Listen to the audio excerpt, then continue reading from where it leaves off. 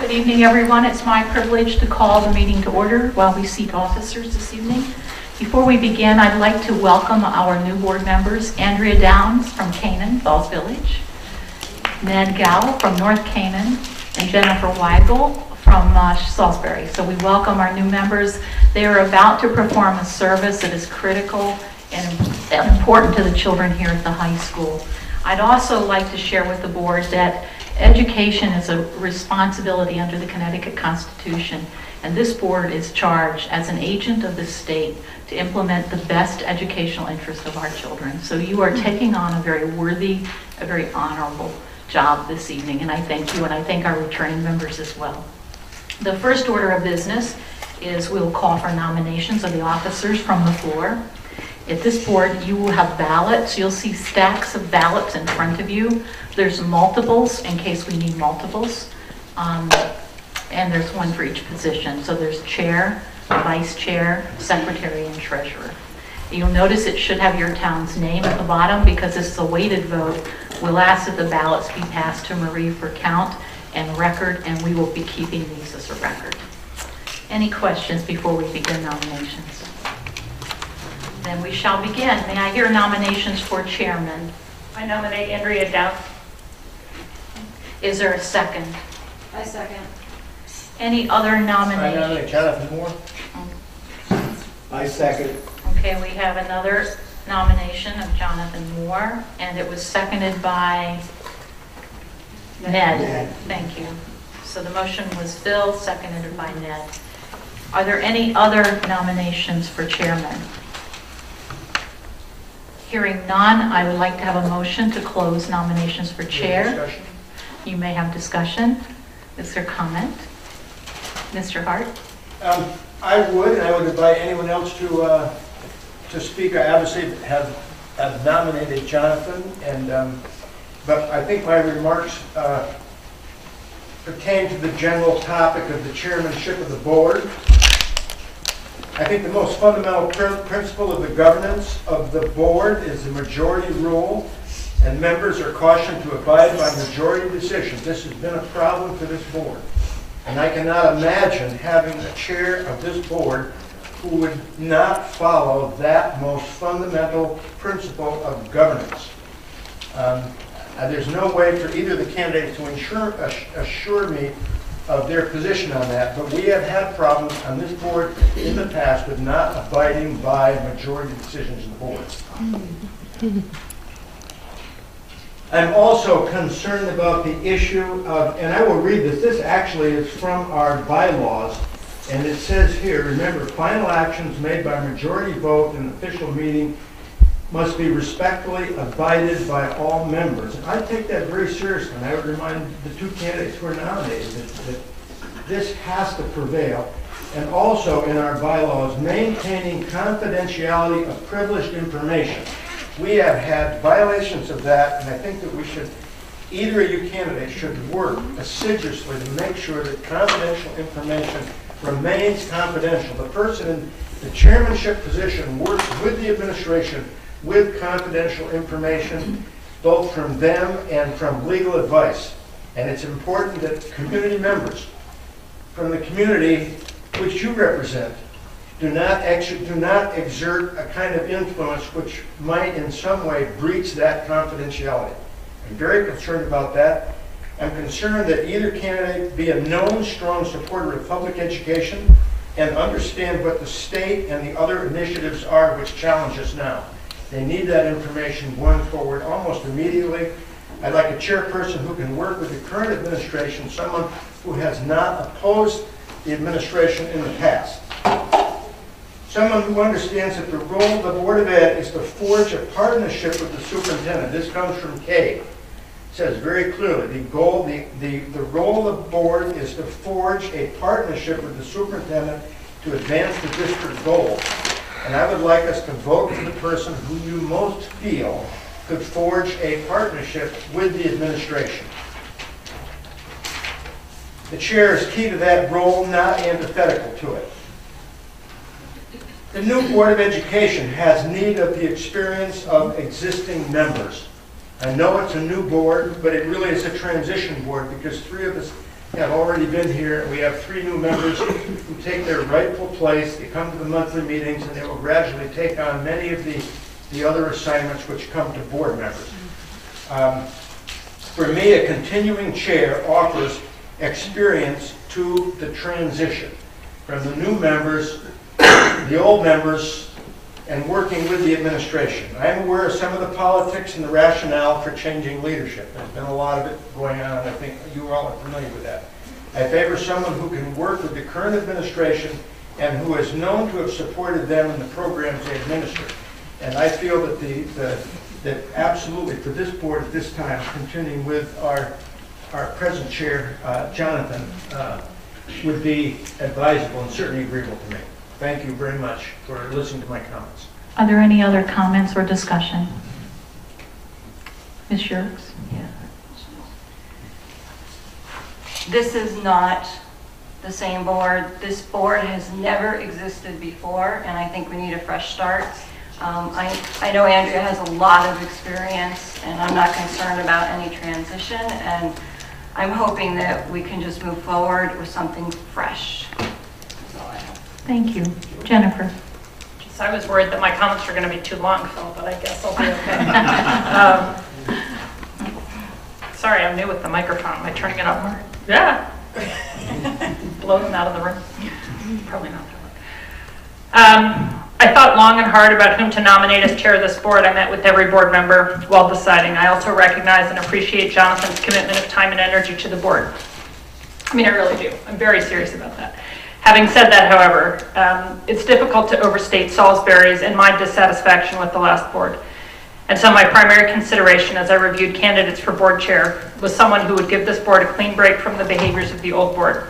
Someone who would be different enough that we could essentially start over, throwing out old habits and destructive relationships and forming new relationships and behaviors with the high school at their center. I'm confident that Andrea will let us do that. She has experience as a board chair, something neither Ned nor I has as new board members. By nominating Andrea, I'm encouraging this board to embrace serious change. I believe she shares my conviction that board meetings should be respectful and collaborative, and I believe her when she says that she wants our board's focus to return to the high school. If she's elected, I plan to hold her to those expectations, as we all should. I thank her for her willingness to take on the responsibility and for your willingness to consider her nomination. Thank you, Jennifer. Any other comments? You should have a stack in front of you that says chairperson. And you only will turn in one of those, please. So even though it says yes or no, Well, you're going to answer yes or no. What you're going to do is you're going to write in your candidate's name. We're going to start with Andrea first, because she was the first nominated. We'll vote these separately, because we had two nominations. Um, So the first vote is a call for uh, Andrea Downs as chairperson, and you're going to signify by entering her name and yes or no. And when you're ready, Marie will pick those up.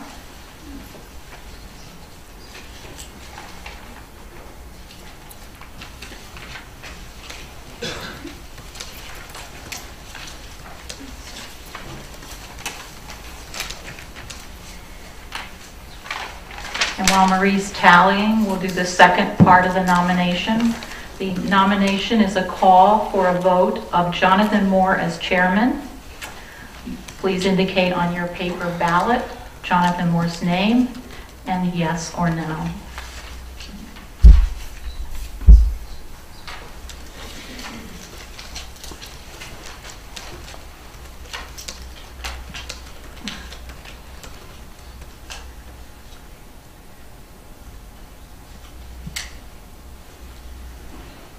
When you're ready, Sam will pick those up while Marie tallies. is above your pay grade, Sam? Okay. Above your pay grade? Yes. I was eating my chips.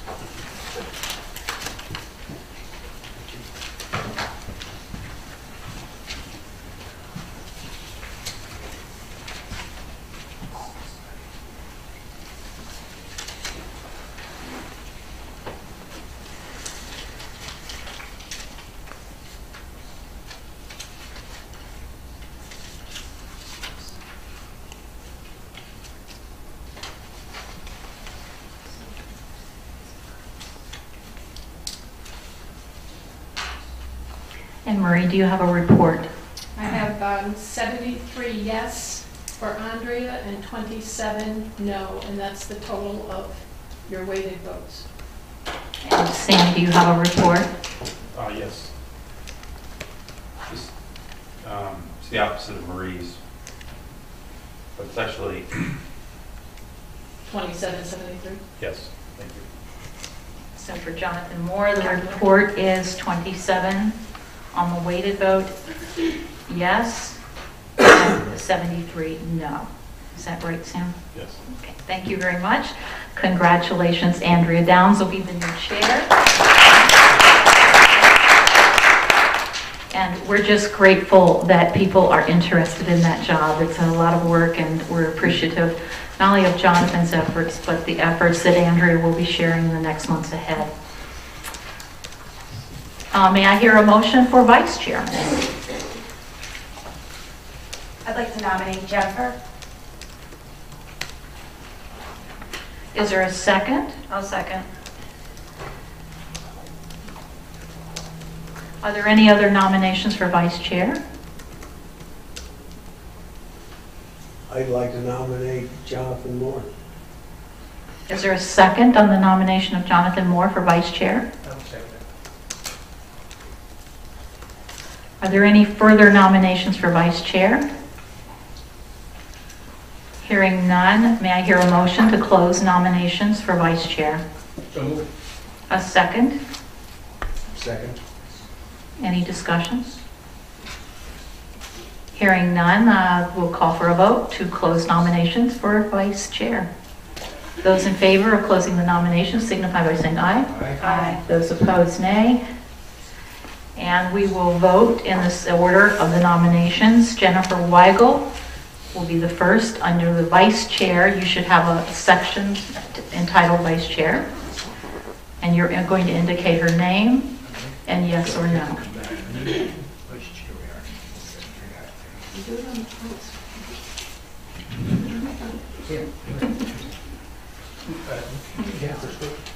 Jennifer's first. So you're going to write her name in, and then yes or no for vice chair.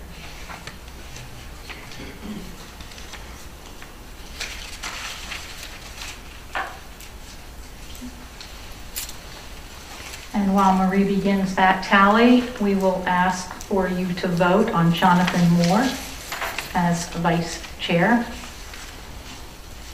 Indicate his name and yes or no, and when you're ready, Sam will pick those up.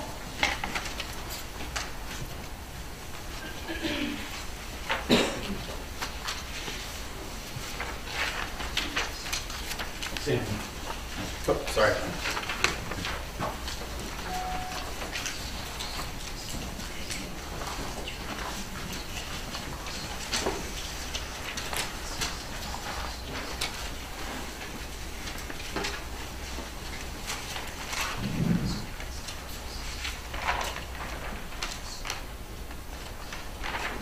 And Marie, when you're ready to report, Yes votes 67, no votes 33 for Jennifer.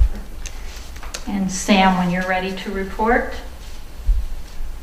or Jonathan Moore, I had um, 70 no and 30 yes. you want to recheck your numbers? Somebody's off, I think. I'm only adding two numbers. and You're it's adding pretty two easy, numbers. so- Okay, That's right. all right, then we'll leave it as is. It's still, um, come to 100. Yeah, it does, you're right, we're good. It's my math that's wrong. I believe then, let me repeat that, 70 was no, Sam, Yes. and 30 were the yes, which means Jennifer is the vice chair. Congratulations, Jennifer.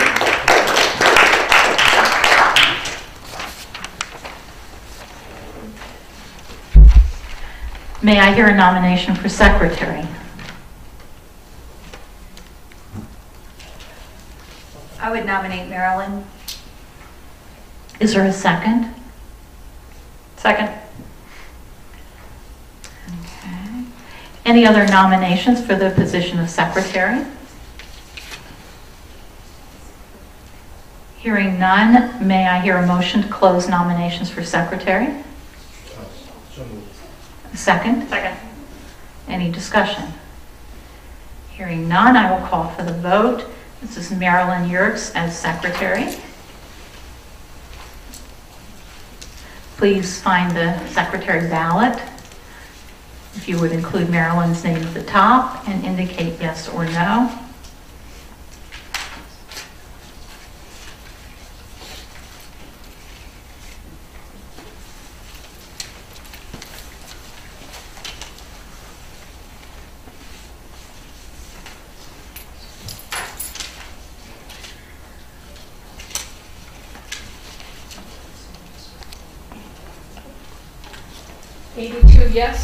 18 no. And the motion carries, and I declare Marilyn Yerkes as secretary. Congratulations, Marilyn. May I hear nominations for treasurer? Nomination for treasurer. This is a really important position. They have all the money. All nominations Mr. Gavitt. I'm sorry, Jonathan, you nominated? Mr. Gavitt. Second. Ned is nominated. And we have a second. Are there any other nominations for treasurer? Hearing none, may I hear a motion that nominations be closed? So moved. Is there a second? Second. Any discussion? Hearing none, I will call for the vote for treasurer. Ned Gow as treasurer, please. Name on top, yes or no.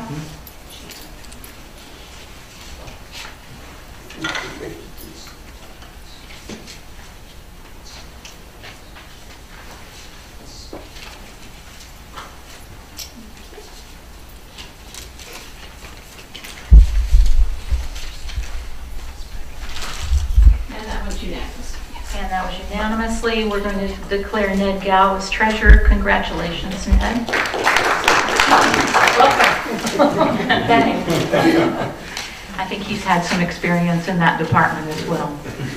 If we could take a moment, I'm delighted to turn the chair over to Andrea Downs. Andrea, right here.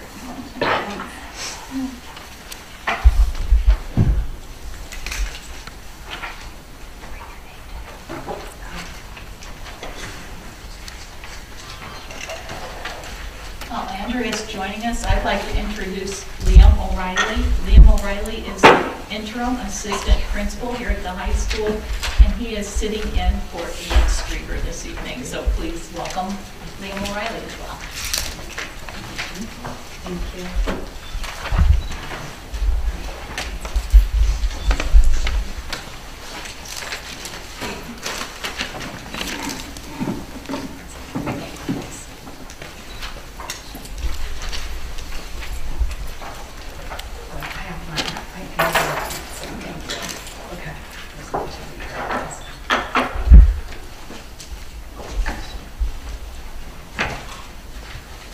Hi, thank you. Um, Do I have a motion to approve the agenda? I'd like to ask that we add one thing to the agenda. I don't see um, an ABC committee update, and I know they met. That's usually on the agenda. Can we add that? They haven't met, They haven't met? they have a, they have a tentative meeting set for the 10th, but I've had one of the chairs contact me. It's also the CABE new board member orientation day, so we may have to move it to January. But no, they have not met. Okay, thank you. Does the, under, and under um, 13, board meeting calendar, does that also include the place of meeting? Will that, will the discussion of where we meet under that? Sure. Okay, let's, that- that's fine. A motion to approve the agenda. Do I have a second? A second. All those in favor signify by saying aye. Aye. Opposed? Okay, motion carried. Approval of the minutes for the regular meeting 11/4/2013.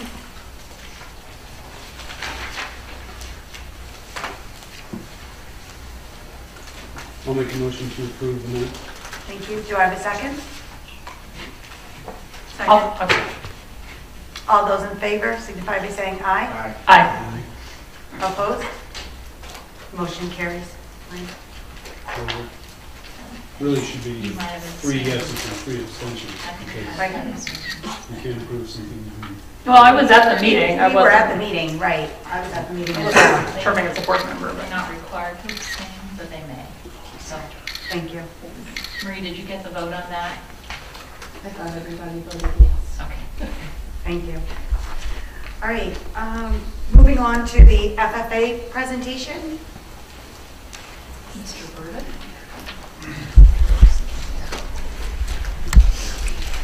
Uh, Thank you for letting us come tonight.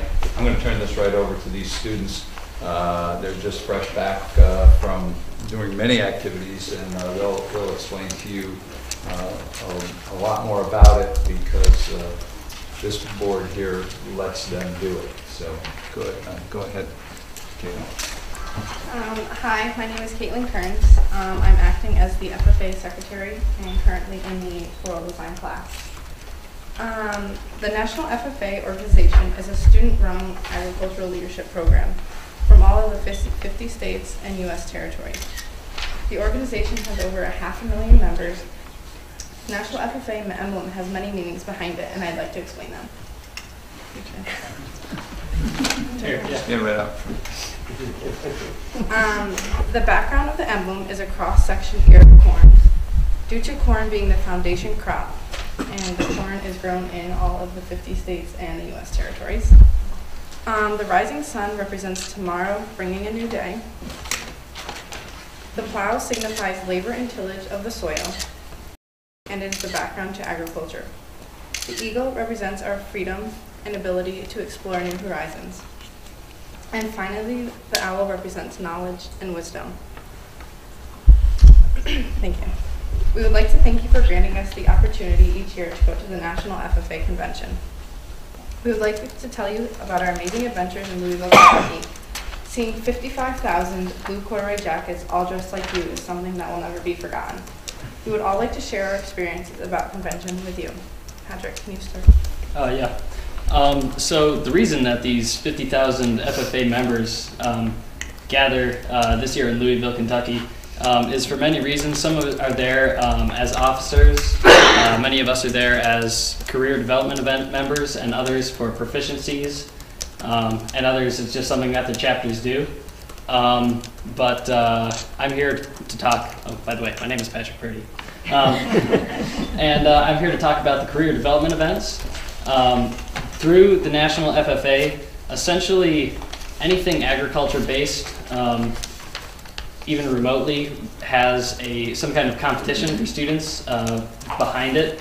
Um, I just so happen to be part of the uh, nursery landscape uh, design career development event. There's also forestry and mechanics, um, ag communications, and dozens of others.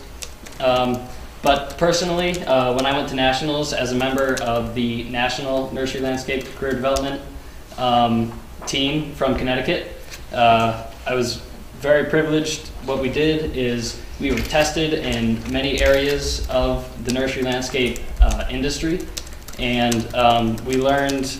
Uh, we, we spent about a year leading up to the event, and then we had uh, tests in woody and herbaceous plant identification, I'll just read off the list. Physiological disorder diagnosis, insect and disease diagnosis, surveying, plant layout and design, plant propagation, uh, written and verbal customer assistance, landscape estimating, and mathematics um, as kind of individually.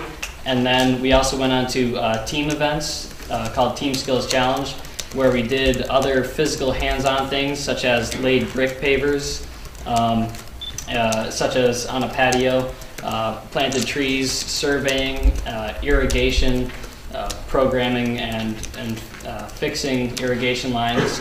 Um, and then we also did uh, a team skill, a team event as all four of us, and um, for this particular instance, we were supposed to develop a plan which would get students in the high school involved in green industry careers and um, also college opportunities. Um, and then we presented that, uh, presented that in front of a panel of judges. Um, so our team consisted of Kevin Massey from Sharon, uh, Sam Hurlbert from Cornwall, uh, Willie, William Hosier from Canaan, and myself. And of the 43 national competing teams, we placed 18th as a silver level with three silver individuals and one gold. So Bye.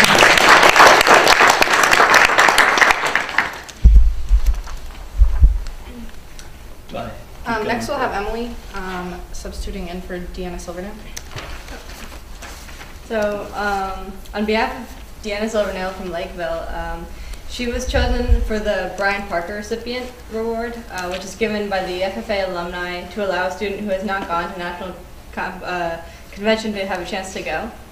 Um, without this chance, De- Deanna would never have been able to experience such a thing, and national convention is like an amazing experience. Um, throughout our week in convention, I was there with, everyone. Um, there were many different activities. Uh, in the expo center, which was um, enormous, there were, were um, career there was a career center, um, and at the career center there were many different booths for people to visit and talk to. Um, there were companies like Dodge, Ford, Chevy, Tractor Supply, and many more. Also, they had agricultural colleges there, um, recruiting people who are interested in agri sciences and environmental sciences. And um, people would talk to us as we passed by about the college and activities that were there. In the Career Center, they had activities for us um, for making our science experiment with from anywhere from anywhere from making our own science experiment to uh, fishing. There was something for everyone there. And this was a great experience. And Deanna, along with the rest of us, had a really great time. And uh, I'm Emily Sullivan. I'm a junior at Housatonic and I'm from Salisbury. I'm part of the FFA through my Envirothon Independent Study and uh, my floriculture class. This past fall, I competed at a national convention with the Agricultural Communications team, and we placed 11th in the nation. Uh, Ag, Ag Communications Career Development event um, calls for individuals to take a specific job. So my job was a writer, but there's also an electric media specialist, which for us was Christian Umania from Salisbury, and a, web page designer, which was Patricia McGuire from Sharon, who's now off to Skidmore. Um, as a writer, I had read the AP style book cover to cover on journalism. and um, tried to familiarize, myself with um, format, the format of press release, um, news story format. Um, so each of the specialized jobs, however, called for um, amazing individual skills that you don't acquire in the classroom necessarily. Um, the competition implemented practical communication skills that were necessary to pursue career opportunities in the ever-morphing industry of agriculture. Um, our last full day in Louisville, Kentucky, um, we took part in the Days of Service, and this was an opportunity for FFA members to give back to the community for all they've done for us. Um, the National FFA organized locations for member, members to go and help to give back to these organizations. Um, our last full day in Louisville, Kentucky was, un- was unlike any other. The previous days we went to conferences, ceremonies, walked around the college fair, and did some shopping. But on Friday, it was our day to give back. The community supports agricultural chapters all over the United States. The community around us supports us in numerous ways, and we can't thank them enough. So on Friday, we we went to the Louisville Zoo to do a community service project. While we were there, our chapter broke into two groups. Mind you, other chapters from the United States were also there. One of our groups went and washed windows within the exhibits, dusted buildings, and cleaned floors. The other group helped clean up Halloween displays around the zoo. They did everything from picking up lights to using a drill to take structures apart. The zoo management could not thank us enough for all of our hard work. While we were picking up and cleaning, we felt so good to realize our success was a huge help to the zoo, and we were giving them our time for them always giving us their time. Um, good evening. I am Tiffany, and I serve as the parliamentarian here for the FFA. Um, looking back to November when we left, um, I couldn't really imagine how it would be seeing 55,000 blue and gold jackets. and what that means is basically almost like a zoo. I mean, we went to a zoo and we did community service, but that's just really how it felt all the time. And you may be asking yourself, well, why are we sending these students far away during school? They're missing their in-class, you know, studies. But the truth is, we're learning no matter where we go. I mean, from the CDE teams to us doing the community service, we're always learning something new. Um, there was a lot of opportunities that helped us grow as a chapter. We built bigger bonds with our team. Um, we got to learn how some people, it was their first time flying, and that in itself was amazing. Um, as a vet student here, I take two vet classes, and we got to visit the Three Chimney Thoroughbred Farm, where the Kentucky Derby raised horses are bred, and basically, it's like a five-star farm. And I got to learn all about the management, what it takes to own a successful thoroughbred farm. And that's what we talk about all the time in our vet classes, is how to manage the animals here and how to be successful. And it really, it was relatable back to what I do every single day here in my classes. And I can't thank you guys enough for letting us miss so much school and letting us go on this awesome trip. Thank you. Um, I'd like to speak on behalf of Kelly Sprague, who is um, unable to be with us tonight. Um, opening session at the 2013-2014 National FFA Convention held in Louisville, Kentucky was a thrilling experience and one of the most inspiring ones members from our chapter were able to witness.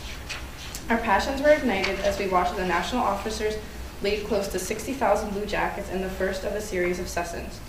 We watched the National FFA Ignite video, sang along with the chorus members, watched speed artist Dan Dunn paint amazing pictures, and were introduced to Easton Corbin as Dodge Ram donated a million dollar check to our proud organization.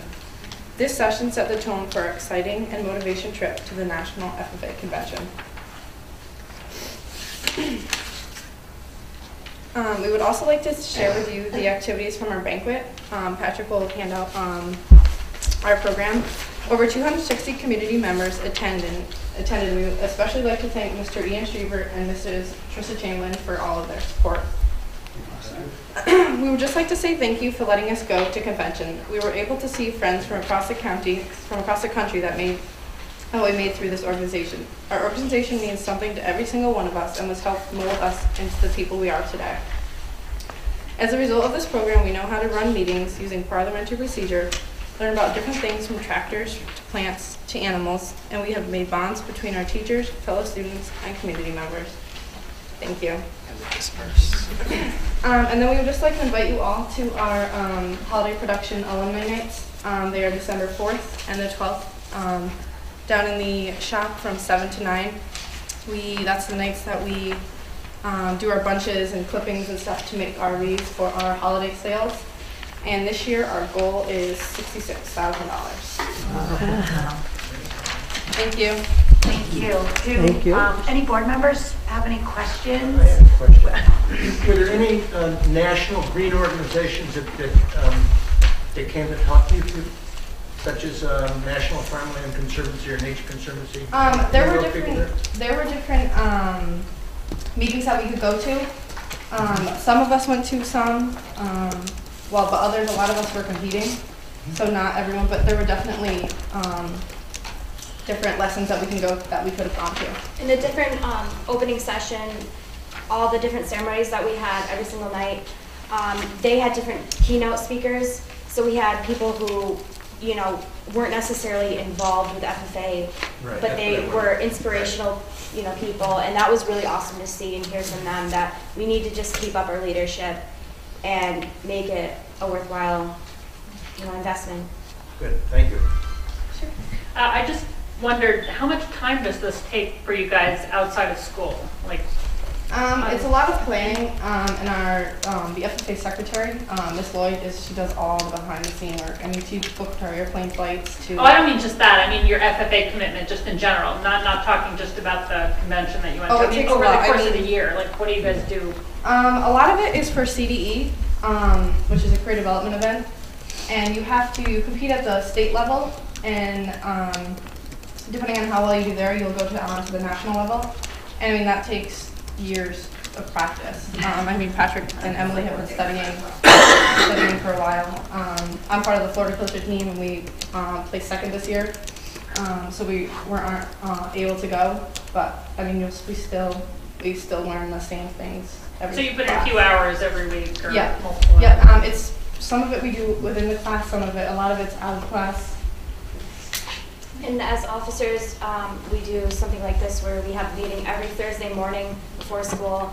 Um, and then we have Monday morning activity blocks where we discuss anything that is on hand. Um, so we're always discussing what we can do better for the next year to come, what's to come next. Um, so being an officer, it takes a lot of time, making sure people are aware of the events. I'm sure you guys can relate, but we really care about our organization and we hope that you guys do too. Thank you. Are there any other questions? I heard your goal was sixty-six thousand dollars, that's for these two nights? You raised Um, sixty-six thousand No, dollars? for- um, we sell, um, the Christmas trees and the wreaths and the poinsettias. That's just a night where we, um, that's a, a night where we produce our own wreaths. Um, we have over, I don't even, a ton come in and we'll just bunch and make homemade wreaths and that's for us to sell. So we your goal for the season out Season. there is sixty-six? Yes, and we started the thirtieth of November and we'll go till the twenty-third of December. Do you know what you did last year? Um, we had about fifty-six thousand. Thank you. Yep. Well, thank you very much for coming and sharing with us a little bit about your um, experience that you had. I enjoyed watching you through the electronic media. That was really fun for me. And um, thank you for being such good ambassadors. I heard that you were really represented our school and our communities really well. And uh, that's, that's really, really, really nice for us. Thank you. Thank you.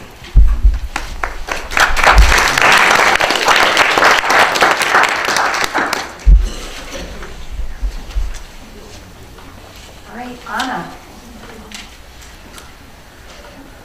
Well, I certainly don't have to um, present about any FFA stuff because those guys did a lovely job of that.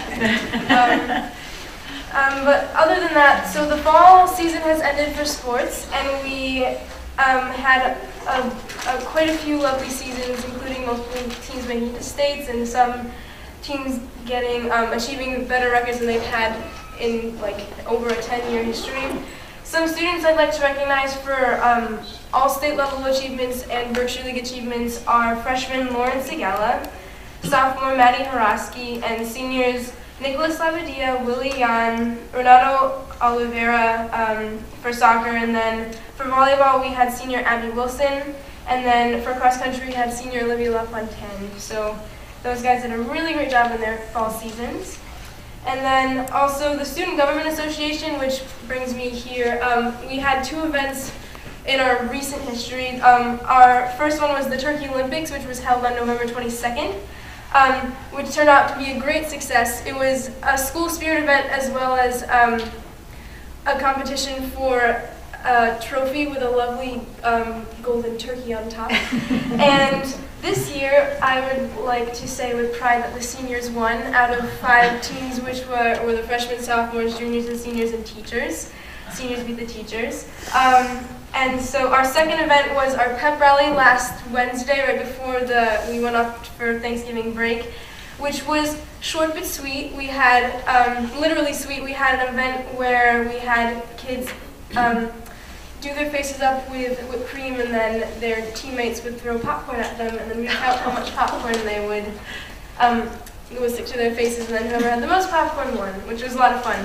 And so that's how we ended off um, our our week of school before the break. Um, I would lastly like to say that the winter concert is December 13th, and we have many musical groups that are preparing vigorously for that date. Um, there's actually a rehearsal going on right now, which I'm missing. Um, but so uh, just save the date if you're excited about um, music performances. And other than that, um, November has been a very exciting month for Housatonic Student Body, and we can't wait for December to get going. Thank you, Anna. Thank you. All right, now is time for uh, public comment. Marshall? I'd just like to add one more sports note. I'd like to really congratulate Darren Bear and the Housatonic football team. It was an amazing season where they had a lot of injuries, didn't have many players, forfeited five games. They came to every practice. They practiced. If you drove by here at night, you saw lights on. They did this all in preparation to play a much more powerful Gilbert Northwestern squad on Thanksgiving Day.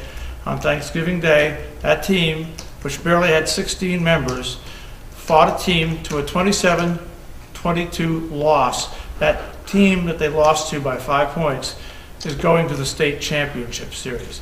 So I really want to congratulate all the students and everybody associated with that program for keeping their heads high and, and just marching on. And if it's ever that makes you feel good about the blue and gold, it's something like that where you see uh, young students so, so determined to carry out a tradition and carry on the honor of the high school. Congratulations to Darren and the entire team. They just did a great job. And to all the other teams who had fantastic seasons, but especially to Darren and the football team. I'd like to also congratulate you, Andrea, and all the new members. And uh, Jennifer, welcome to the board. Congratulations. It's great to hear Salisbury have a voice, a voice back on the Board of Education.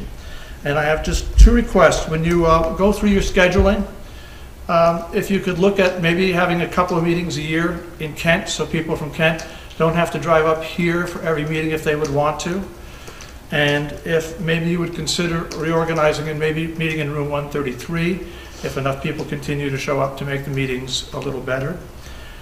And I got a, I received a call, because I had placed a call before Thanksgiving, uh, to Attorney uh, Patakula about uh, the settlement case, and he told me that the case was settled, but he couldn't uh, release it to me, but it was a public document, and I was wondering if the board can uh, maybe have that, that settlement, seeing as it included taxpayer dollars, posted on the Region One website, so taxpayers can possibly take a look at it in full and get a better understanding of it. Uh, It doesn't have to be distributed, you don't have to waste paper, you can just put it up on the website and have people access it by a PDF file. But again, welcome, congratulations, and uh, Jennifer, welcome, really. Thank you, Martha. Thank you, Martha. Pat? Um, I think that what you did here uh, today with having the FFA folks come is a wonderful thing, and I hope that uh, you, Andrea, as the new chairman, will work with the high school principal so that monthly we have something uh, before the board um, that we can brag about seriously. There's so many great things happening at this high school, um, despite the bumps in the road over the last uh, couple of years, and I think it needs to be, uh, it needs to be promoted. We need to have a- a a- better uh, public relations uh, scope uh, for for the school. Um, I'm glad to see that on your agenda that you've returned to the different reports. I think it's really important that, that they are read and, and discussed by the board because so many people view these meetings on the community network on CATV uh, 6. And this may be the only way they can get their information because they are unable uh, to attend the meetings, especially those that may be um, elderly or um, even our young, um, our young families who are off doing things with their, o- with their own children and their own activities. It's, it's sure a way for everybody to keep up and, uh, um, and of course, my sincerest congratulations to the new board members and to the new officers as well. Thank you. Thank you, Pat. Anyone else? Just a simple thing, I'd like to uh, support Marshall with the thing of having more meetings, not only in Kent, but in other towns when you consider the budget. It'd be nice to hear that you was going to do that. Okay, thank you. All right. Thank you very much. Um, I too congratulate our high school FFA students. What a remarkable banquet they held in November. It's always exciting to see them on stage and, and so many children being recognized for their achievements. There's an incredible team that doesn't just happen by itself. Mark Burdick, Karen Davenport, Ashley Porter, Dave Moran, and Sarah Lloyd. I, I think it's just a remarkable team that make all of that happen. They have ignited learning, truly. Um, An update on the principal's search, we received seven complete applications. I'm recommending that we post the position again in mid-January with a closing date, uh, early March, with the intent that we would advertise nationally. We did not in the last time post in, in the Education Week, which is our national publication, that many educators checked. So I would make that change in that recommendation, and if we can attract a sufficient pool at that point in time, I think the board needs to consider um, looking for a search or a headhunter to do the job. Do we need to make a motion or do not. take action? Um, Just wanted to keep you in the loop on that. It doesn't make sense to pull a search committee together when you have seven applicants. We normally would like to have 17 to 20 to start with, so it doesn't make sense. And a quick question on that. Um, Is the reason not to start with the headhunter because it's so expensive? You know, I didn't price it out recently, and I'm sure Kate would give us a price for a principal search. Um, I I just had someone haven't suggest to me. there yet. Yeah, no, I've, I've heard that too as well, and, yeah. So uh, I just haven't gotten there quite yet. Okay. We may. And if I do that, of course, it would come back to you as a group to make a decision about the cost associated with such. We have continued our work with the teacher and school leader evaluation implementation. Um, That's a challenge, but it's also very exciting. I believe it is going to elevate instruction and, and our leadership task as well. And you'll see I've included in my report a little bit on the smarter balance. I know that Diane gave you in her packet a detailed uh, presentation on the Common Core, the smarter balance, and, and really, it's all interconnected. And we need to tackle it in such a way that it's integrated, working together in order to achieve the uh, task we hope to achieve with it. The test that I thought was going to, uh, the Smarter Balance Assessment that I thought was going to be an adaptive test, they're telling us in this next year it will not be an adaptive test, it will not drop to the student's level. Um, They're trying to achieve a baseline and understand more about the test in order to eventually test the validity of it. They need to have every student taking the same piece of work. So we will have a little more for you on that. We know that the test is going to be very challenging. It's requiring us to align curriculum, but the good news is, is higher expectations. And what we know about expectations is when we raise them, not only the students, but the teachers will achieve them.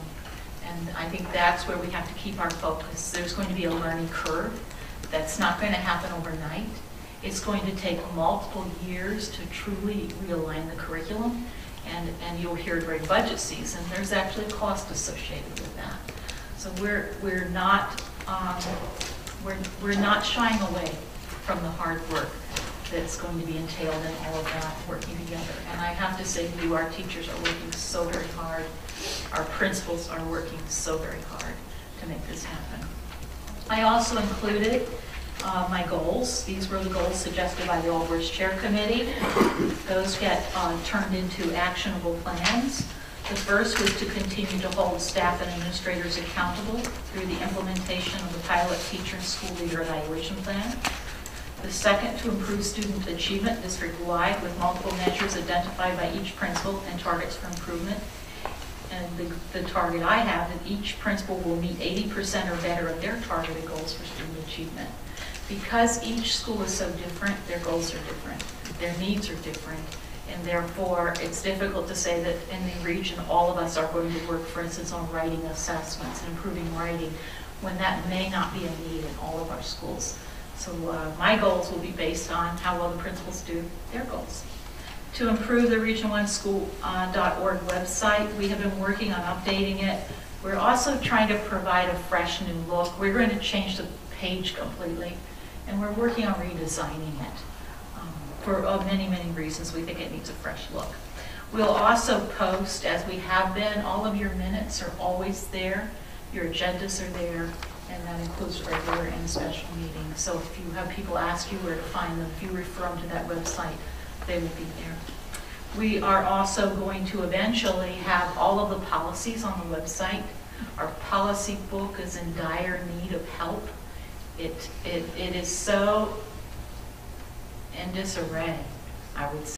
Only the new sections that we have done the past few years are really up to date and organized. I'm reluctant to even copy it and give it to board members because of the shape that it's in. Some of the policies are ancient, some are no longer appropriate in the book, but they've not been removed. So we're going to be spending this next year working very hard to clean up that policy book, to make sure that it gets updated and that it actually is available online to you and to the community. And last, to encourage and support all boards to utilize Board of Education retreats and/or informational meetings to foster trust and respect. I would remind this board, as I will all the boards, that you have a Freedom of Information meeting coming up January 8th. There will be an ABC meeting either on the 10th or rescheduled to January. Uh, We'll let you know whichever happens under those circumstances. The students mentioned the concert is coming up December 13th. Your local schools are also having holiday and winter concerts, so if you check their websites, I'm sure they'll be posted there as well. Thank you. Does anybody have any questions? Yeah, I do have a question. Uh, Patricia, the pilot programs came and went. Were there modifications to the, to what the expectations were on the teacher evaluation based on the pilot programs? We have, we're in our first pilot year, so the pilot is in effect.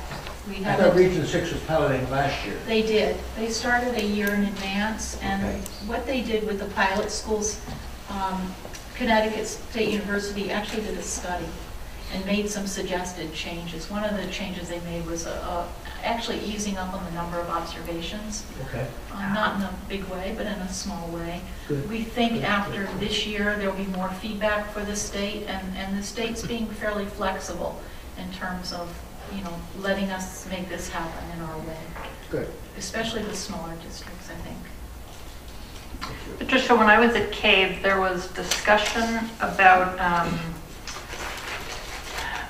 a waiver from the state for the um, Yes. CMT. There is, and there was. Is that still going on, or did it, Actually, come we through? applied for the waiver, we did that last month. There was a waiver opportunity of which we applied for that said, instead of taking the CMTs, we wanted to take the new Smarter Balance test instead. And the second part of that waiver was, in this first year, that it not be tied to teacher evaluation. So we've requested both.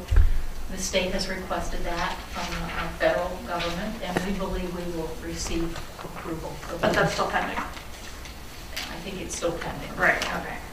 All right. I know they were anxious about it, you know, Yeah. well, what if it doesn't come I through? know. I asked We're not, that we're not thinking about that, though. I- I'm trying not to think about it. Actually, Okay. if it doesn't, I assume that we would have to take the CMTs. I would assume that we're not going to do very well because that hasn't been our focus, but I would rather the teachers shift their attention to the Common Core standards and work toward that rather than looking in the rearview mirror back at CMT. So that would be my position. Even if we have to take them again, we Yeah. will. But I'm not going to take the results as seriously as we have in the past.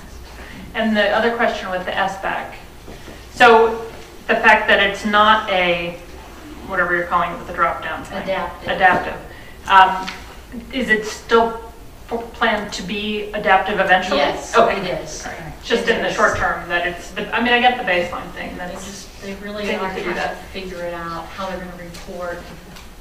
And we don't even know what the reporting will look like in the Right. future, but this first year, we had thought it was going to be adaptive, and they informed us that it couldn't be, they need to find the base, and that's what they're doing.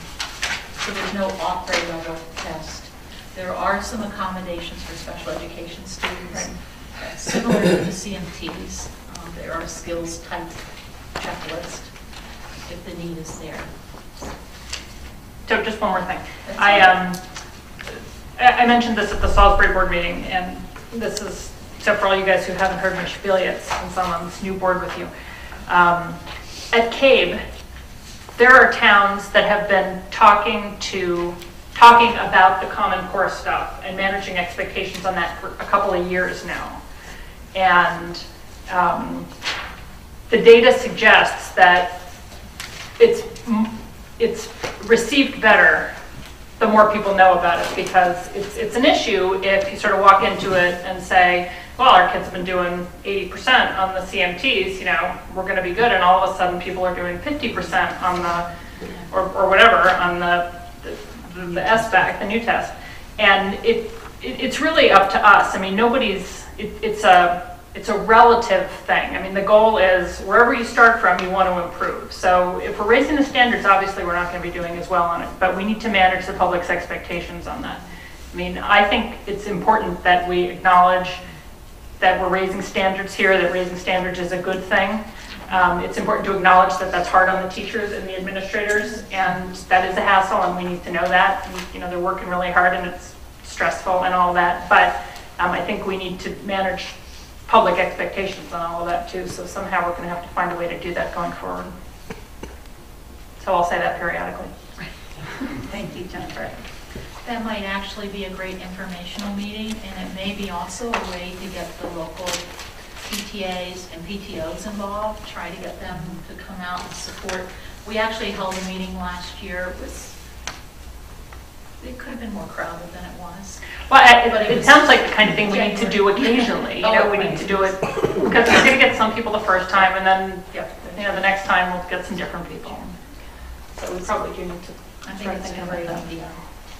Not that you guys have anything else going on. No, we love it. We'll talk about education to anybody who will listen to us, so. Any, any other questions for Patricia? I'm just thinking about what Jennifer said, because uh, it's funny that you brought this up, because in Sharon, um, there's been a lot of discussion, a lot on, in social media going back about the Common Core, and people asking me, where did this come from? I'm like, we've been talking about Common Core for two years, I don't know where you guys have been.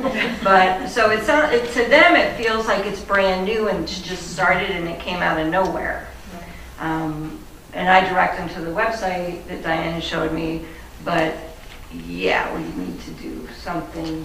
Definitely, are are you getting the same thing in Salisbury or the other towns, or? Uh, Not so much um, yet, but I think it hasn't really hit anyone, it hasn't hit home yet what's going to happen, you know, when they actually sit down and take this test, and the kids say, no, oh, I really had no idea, you know, I didn't know what was going on, or, or that was really hard, or, you know, whatever, it hasn't been an issue yet. I think it, maybe once we actually get to that. One of the worries we have is just the technology to take the test. And we're going to ask your technology teachers to meet and look at samples, and it's still early, but look at samples and try to determine from samples what level of technology the student needs in order to take the test. So there is, it is taken on the computer. It's probably not very scary for the children. It's more scary for us. But we do need to know, you know, what kind of technical skills are required for this one. Didn't I just read that in Salisbury, I thought I read that elementary, like K through two were doing it on iPads or something. Didn't I read that? You know, the iPads, I don't think are actually going to work for the Smarter Balance test from what I've heard, unless that's changing. But that what they're doing in Salisbury in the K-2 program is they are using technology to address some of the Common Core skills. Oh, okay, maybe that's what it was. And therefore, it is in preparation. Some of the material that Diane gave us it actually says that to assist states that have not yet made the transition to online testing, the consortium also will offer a paper and pencil option for the first three years. They will. So, But we don't want to do that. well, I know we don't want to, but there, there are other options. Yeah, no, we will, we'll try our best to be ready, and we think we will be. A 600-student middle school could test the students usually o- using only one 30-computer lab. Correct. No, we think from a hardware point of view, we're okay. We need to make sure that the bandwidth, I hear it often, has to be enough to support a number of users all at once. It might be happening in a school, even though you're right, the testing will probably be in the lab, one set of students at a time, or scheduled into the lab for testing purposes. Any other questions? Thank you. Thank you. Did anyone have questions on the assistant superintendent's report? I know that she's not here, but possibly Patricia or Sam could answer some questions if you have them. That would be good material to put on the website, to point mm-hmm. people to, right? They have all these questions, and just say, just go look at it here. Yeah, at least the links. down, I'm sure I can do it. And I'm sure they would give permission to, so, absolutely. All right, Sam? Okay, in your packet was um, one pager that has um, four items. The first item says regional transportation contract. I think we talked about this at our last meeting, but um, we have three new members, just to briefly touch upon it. Um, We're scheduled to meet with the um, All-Star Transportation President or owner, John Dufour, on next Tuesday, I believe, is the um, ABC meeting, which is scheduled for then. Obviously, if that gets rescheduled, then we'll have to come up with an alternative time to meet with them to start that process of negotiating a new contract. Um, Just as a matter of background, this board um, approved to spend up to a certain amount of money with TAS, um, which is Transportation Advisory Services, Mark Walsh. And he's the um, gentleman that we used the last time we negotiated a five-year contract with the All Boards Chair Committee.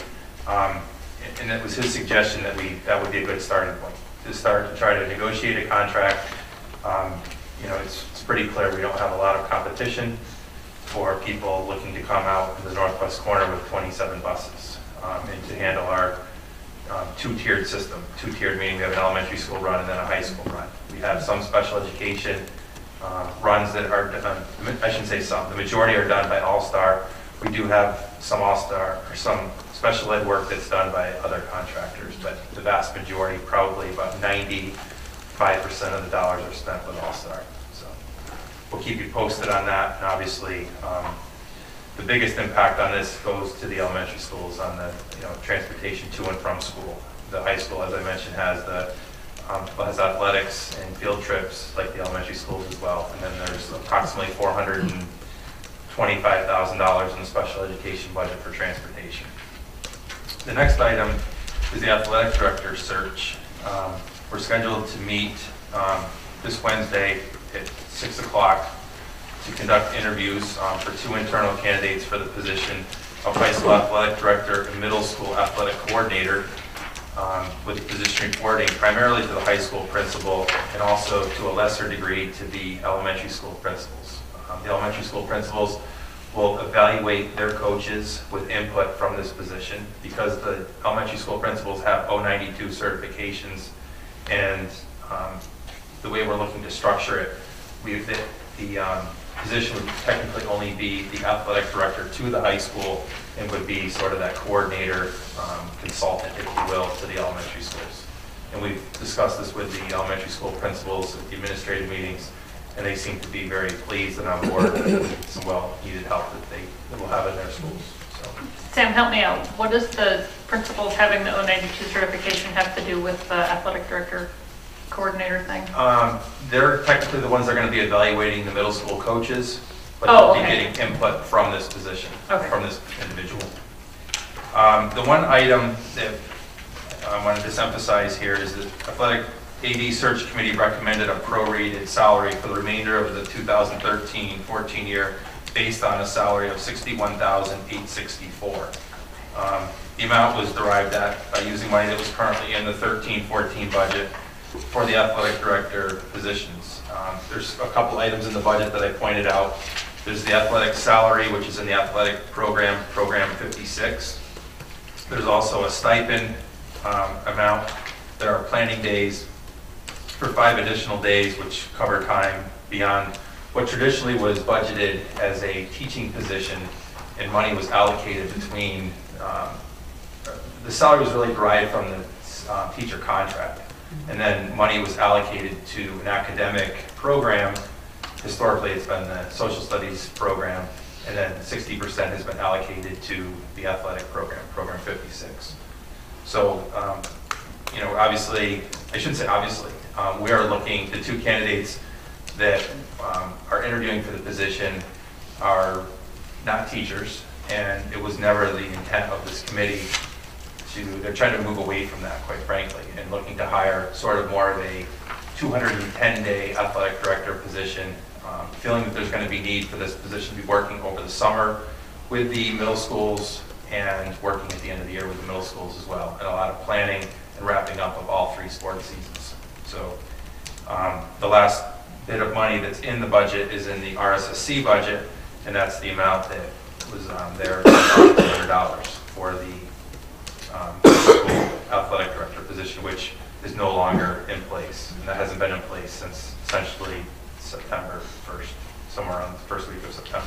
I I have a question for you, Sam. Yes. On the uh, salary amount, is this um, the, the amount of money that was allocated for this position before, you know, before we knew that we, Minus the social studies piece, yes. okay. I just wonder because the person doesn't have the same certifications. The last person, I believe, had an 092, and this, you know, the person who is filling that position does not. So I'm just wondering um, if we needed to, to, you know, budget the same amount for this position based on the certification piece? Um, It's technically less. Um, Well, it- it's technically less, but the two positions, um, without getting into the credentials of the people that are applying, um, there's this minimum requirement which is needed to be the athletic director for the high school. Both candidates have at least the minimum requirements. Um, So I, I think the feeling of the committee was they looked at the needs of the position and irrespective of who the candidates were, even really decided before we, one of the first things we looked at was the job description, making sure that the middle school pieces were included. That was an important part. Um, And then the high school piece, obviously needing to sort of be the predominant piece of the, the puzzle. But that, the salary was really dictated before the, the people were, who were interested in looking at the position, number one, and number two, um, adding the additional days that they felt were needed to really Okay. do the job well, so. All right. My next question is, will this salary continue to be determined based on the um, teacher contracts that we have? Or how will, how will that be determined? I think the answer, the short answer is no. Okay. Um, And again, trying to take it away from the teacher's schedule because it's, we're they're not looking to hire a teacher Right. who's also going to be part-time athletic director. Okay. So now I'm sort of following up on Andrea's question. I think I may be asking the same thing in a slightly different way.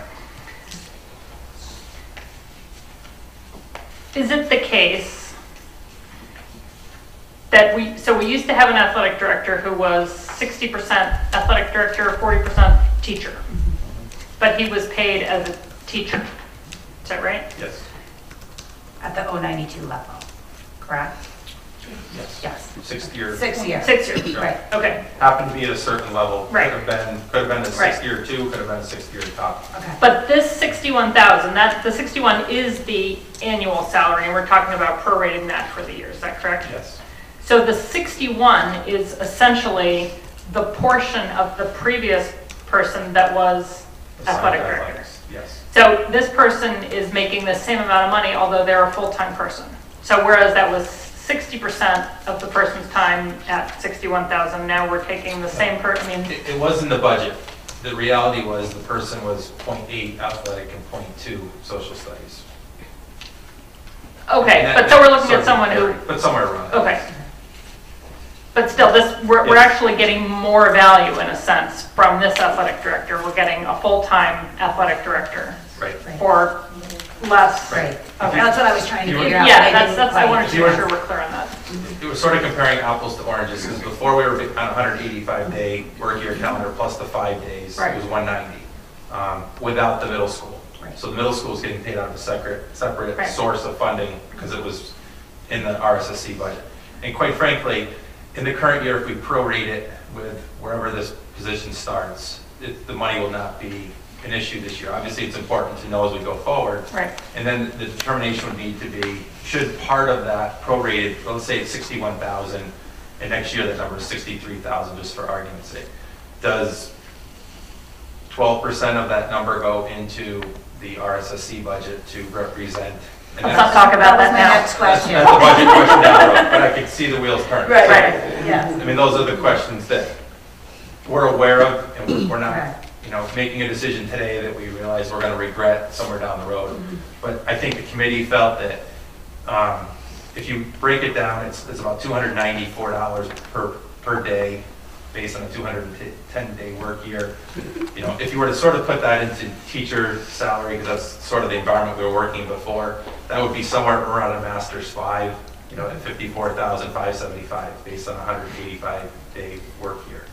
Um, He didn't really want to go much lower than that. And they also realized that we're a small school. Um, We are a small high school, and, you know, but this person still has a lot of responsibility. They they um, su- supervise and evaluate a lot of coaches. That's the current reality. The reality is, we have both boys and girls programs in the spring, winter, and fall, and this person's evaluating and responsible for quite a bit.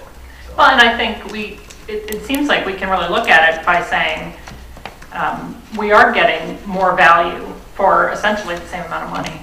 The same amount that we were allocating before to the athletic director, now we get a full-time athletic director who also handles the middle school. I mean, that's good value. Great, thank you, Sam. Well, I'm not done. I know, but thank you for that part. Okay. Um, So that was the good news. Um, The next news. That's true. That is true. The next one is health insurance. Um, we- We've been talking about this, um, it's sort of like the Common Core. I think, quite frankly, for me, the Common Core is very boring, and I know you've been talking about it for two years, but it's like enough already. It's sort of like health insurance. We we say, you know, is, well, every year you tell them the insurance is going to go up, and then it- it comes down to sort of an amount that people can can swallow. This year, um, right now, for every dollar that we're paying in premium to our carrier, they're paying out a dollar in claims. So we're at, we're at about hundred percent loss ratio, which is not good news um, as we sort of get closer to a December thirty-first, um, cutoff.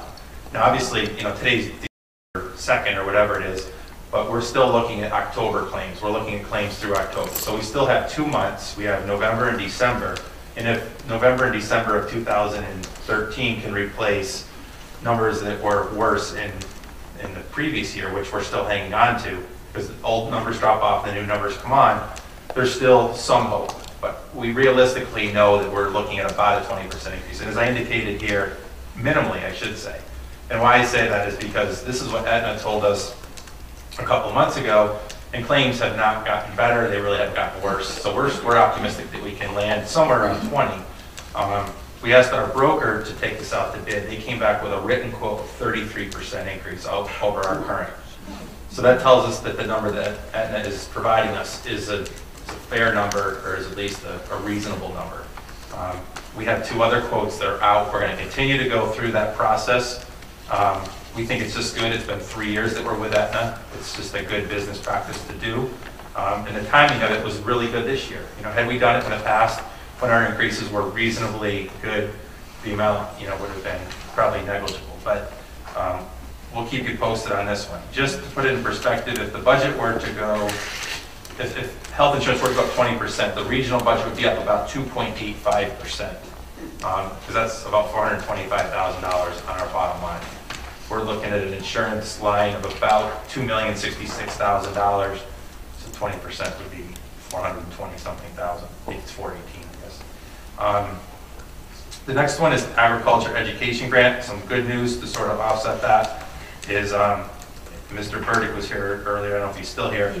But um, he's aware that the, the grant that the state is providing us, um, in- they increased the base amount for the 13-14 school year to 2750 for the first 140 students, and then we get a supplemental amount of 2230 um, beyond that, which increased our total grant to 387,230, and that's um, $107,000 more than we budgeted. So that's excellent news.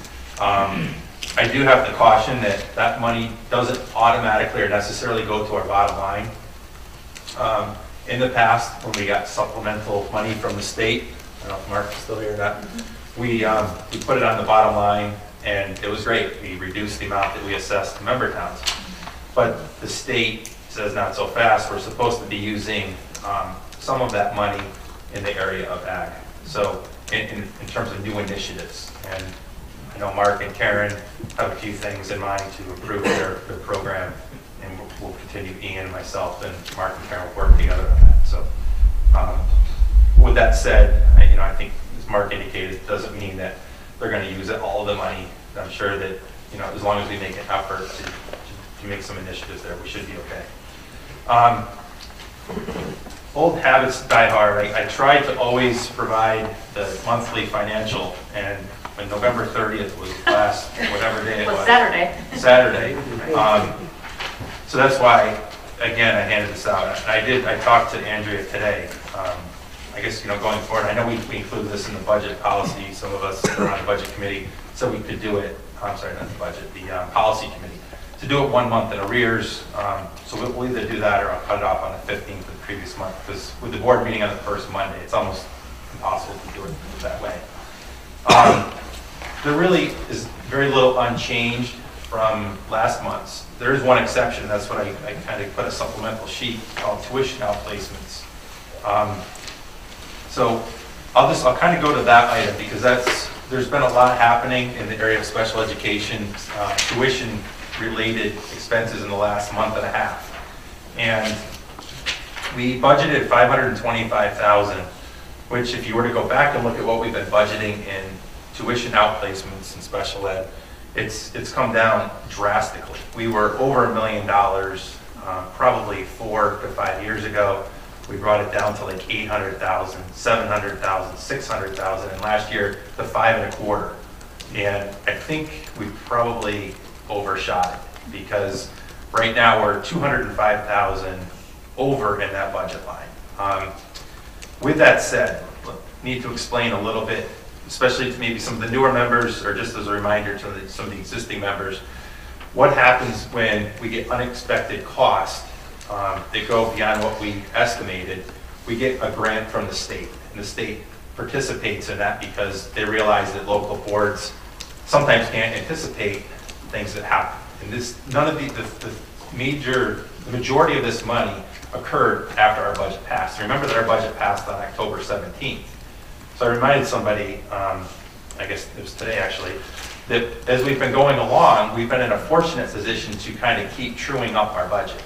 You know, when our budget got defeated in May, um, you know, we paid $7,000, but the, the good thing was, as a business manager, I kept presenting a new budget, and we'd, every month we'd go through maybe a handful of items and said, okay, well, we got to increase a little bit in salary, decrease in health insurance. And literally, we kind of did that back and forth all the way out to October. Um, When we looked at this probably in September for that October 17th budget, we were good with tuition. And now we're $205,000 over, and it's like, you know, the plane went flying over the runway. So our concern is, you know, we have between now and June 30th to sort of hope that everything is calmed down. The Director of People Services here and I were talking right before the meeting saying, we think, you know, knock on wood, things look, we think pretty good right now. Um, But with that said, we get that extra state grant, which literally comes from this over, so we get 86,000 back from the state. Um, There's 96,321 that we have billed um, to outside districts for special ed related tuition that we didn't budget for. So there's um, students that we receive, we can't really get into the particulars of that, but when we have students that come to the region, we charge our regular tuition that we're allowed to by state, which is 7,992. Those are for ag students. When we receive a student from, let's say, another neighboring district, um, we charge tuition based on what our regular ed tuition amount is, but there's supplemental amounts. So if, for example, the special ed teacher in speech, OT, and individual people had time um, was allocated, we're allowed to charge that neighboring district for that time. So there's 96,321 related to um, literally a handful of students for services that um, we incur. So that's, it offsets our cost. So that's, that's a positive thing. Um, And then the other item we're, we're gonna have to do, we don't have to do this tonight, we can make action at the next meeting, um, because we're not in the need to spend this money between now and the next meeting or two. But we will probably request to transfer some money from special ed salary. Um, We haven't, we have right now a projected surplus in that line item because of some changes that occurred when we um, had a special education teacher who became the assistant principal, and we, um, we hired a long-term sub for a portion of those services, but um, there's some significant savings there, which you'll see in your report. I believe that's on page, but that's not all that. So the explanation is in there, you can go through all of that. Um, Are there any particular questions at this point? I know you just, you haven't had a lot of time to look at it. but- So is, looking at this particular issue, is it an issue for next year's budget, or it's going to calm down and go away before that? I'm glad you asked. Very I, I, I don't have the crystal ball either, to be honest with you. Um, you know, You've heard both Sam and I say um, at our meetings that this is, this is one of the most difficult areas of budgeting to predict. Um, Will, should we be able to continue the downward trend overall? Because you've heard me present to the board about our development of in-district programs to keep more students in district rather than outplacement. Yes, that trend should continue. There's going to be a little bit of a trade-off in that area, but I think you'll hear that down the road when we make our budget proposals for our local budget. Um, But the overall trend should continue. Um, You know, these, these minor mid-course adjustments, because students move in out and other scenarios play out, happen, but the overall trend should be good. Um, The last item I just wanted to go over was um, this high school enrollment projection for October 1st, 2014. Um, If you could take a look at the, the line where it says high school um, in the current year, October 1st, 2013, it shows 144, um, I'm sorry, 122 eighth graders. And we're showing that, you know, there's seven for Falls Village and 15 at Cornwall, et cetera. And if you look down, you can see that that number goes to 79. Um, Now, that's about 66% roughly of 122 is 79. We went by each school's estimate of the number of eighth graders that would attend the high school from each elementary school. And there's primarily two reasons. There's private school placements, and then there's Oliver Wolcott. Um, So we, we tried to get fairly accurate numbers. We always do this every year. Trish and I contacted the schools um, last, early last week and asked them to sort of give us their estimates. Now, those estimates vary by, just because a student applied to a private school doesn't mean that he or she is going to go there, similarly with Oliver Wolcott. Um, But if that were the case, you'd have 79 students. The number of sophomores should be 109. The number of 11th graders should be 110, not 100. I apologize for that. And the number of seniors would be um, 100, not 111. So I was off by 10, and I was off by 11. So the net difference is actually 1. So it's, it comes out to 398, 399. Now, you know, we do this every year, and this is sort of important for budgeting, and this is why I bring this up, because as Ian and the high school department chairs put their budgets together, what they'll be looking at is the number of anticipated student, anticipated students for next year, and trying to fill courses and programs, et cetera. So, um, you know, last year, NESDEC projected 425 students. We actually ended up with 420. I say last year, I said October 1st, 2013. So you're looking at that number 430, and you're saying, well, wait a minute, what's 420? So this is as of October 1st, 2013, um, and that takes out the resident, I'm sorry, the non-resident students.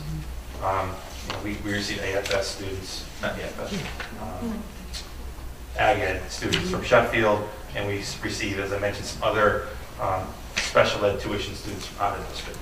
So um, that's where we're at. So that's the 420. That's So the 430 minus these non-resident There's students. gives 430 420. bodies physically here in the school as of October 1st, 2013, but we only can charge for 420 to the member towns. Right. And we kind of went through that at our last uh, Yep. board meeting here.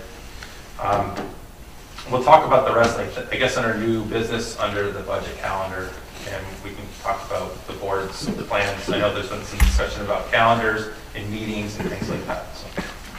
Thank you. Any other questions for Sam? One, one question, I Yes. just want you to repeat a number Sure. for me.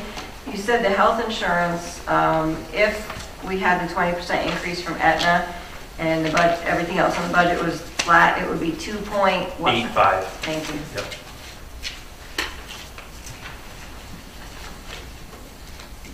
Affordable Care Act too, um, Andrea had this conversation earlier this week or today, um, is part of that increase. Um, It's not the reason that we're having a 20% increase, but it's probably somewhere between 3 and 5%. And all carriers are expressing that to their, um, to their renewals, so, thanks.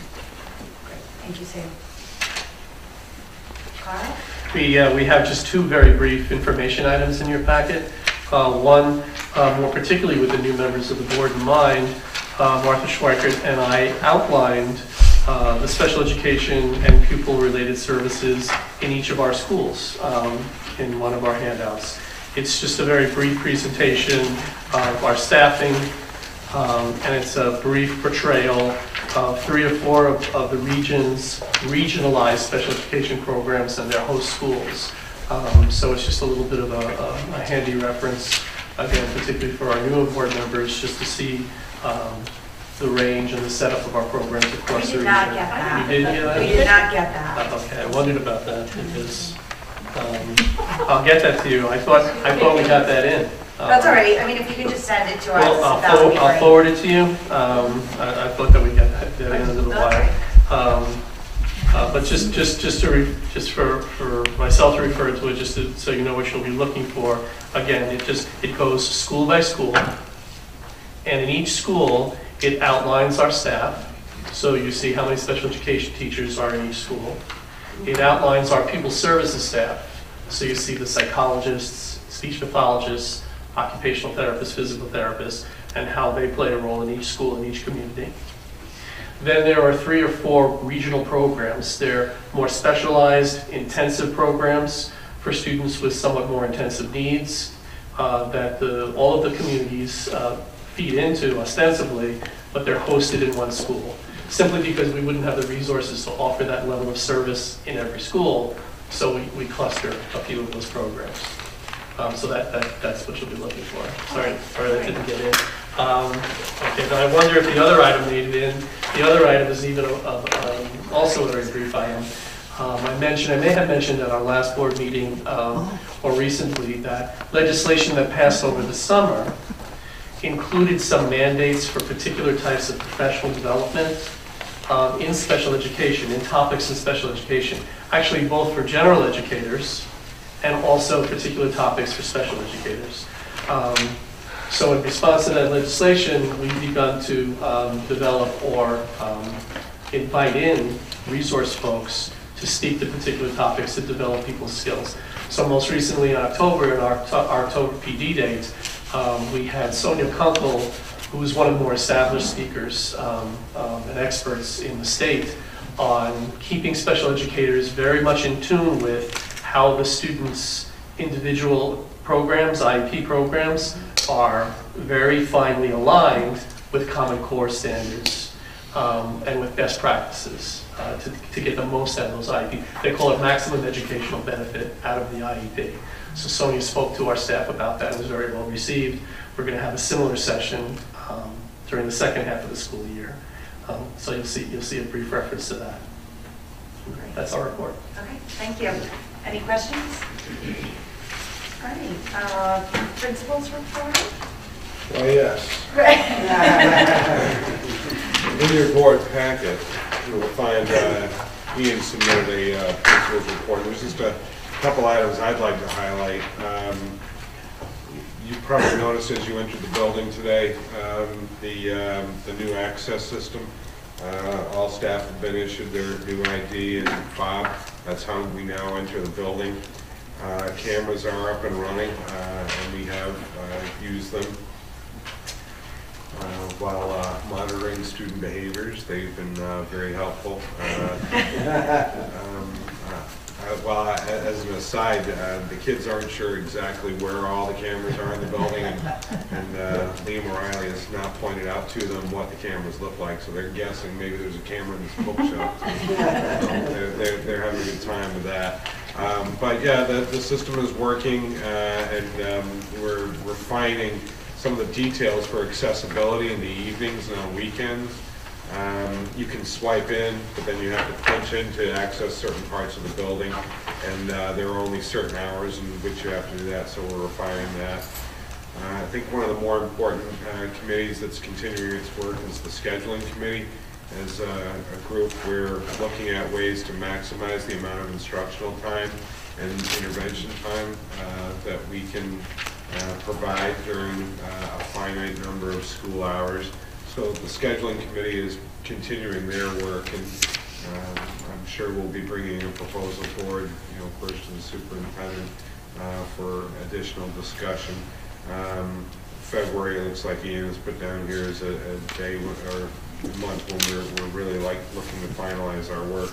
We've been at it now for, um, the entire time I've been here in district, so that'll be, you know, two years. And, um, as far as recent and upcoming events, uh, I think we heard a wonderful presentation tonight from, uh, FFA, uh, but the Fall Athletic Awards were also distributed, and many students were honored. Um, And then the holiday store is open, winter concert on December 13th, I'm really looking forward to that myself. And um, then the report to regional happens on Thursday, December 19th. So those are really the, the big highlights. When the freshman college students come back. Oh, that, okay, yeah, yeah. Right, to the, uh, to the administration, is that? Yes. is that- And, and teachers, or, and, and seniors. Yeah, yeah. And seniors, right. Right. All right. Any questions? Great, thank you very much. All right, new business. We have our uh, calendar of, of meetings for 2014. And there has been some question about whether we would have a couple of these meetings in Kent so that we can accommodate um, the people that live in that part of the uh, district, make it a little easier for them to attend the meeting. So I guess I'm looking for some input on that, and if we want to schedule those, meet, you know, decide which meetings we're going to have in Kent, I think now is a good time to do that, because then we could get it on the calendar and on our website, and um, we can plan for that. Are you talking about regular meetings? Yeah, weren't we discussing that, there was some discussion, I believe that there would be maybe two regular meetings in Kent, if I remember correctly? I think that was a public comment, I don't think it was a discussion, but for a regular meeting, I, I would think you'd be in dangerous waters picking one town, having two meetings there. Okay. That's what I was wondering. If we did that, we'd we have them everywhere? Okay, well, I just wanted to put that out there, so, The original conversation I started a while back was with budget workshops. Okay. Going to every town in the district to do a budget workshop so that they can be informed about the budget. right, which I, I think is, is a good idea. I think there should be some opportunity in every town. I know in the past, uh, at least when I was chairman of the board in, in Falls Village, uh, Sam and Patricia always offered to come to our community to give a presentation, and I believed that they offered that to every, every community. So I think that that's a good practice and would recommend that we continue that. If we wanted to move our budget workshops around, that would be totally up to what the board would like to do. I don't know if they just want any We presentations or if we want to have budget meetings. workshops now too, is that part of this? Right, no, but we're just deciding if we Okay. want to move, if that's, we're gonna, if we're gonna move off of the regular meetings to, to the budget workshop. So it sounds like regular meetings should be here. That's what I'm hearing. from you. Well, you can change the regular meetings, I'm not saying you can't, you Right. shouldn't. It's just if you're gonna change the regular meetings, you should cover more than Right. just going Right. to Kent twice. I But we only I meet, think there are other towns we have that what, do 10 that. meetings? 10 regular meetings, correct.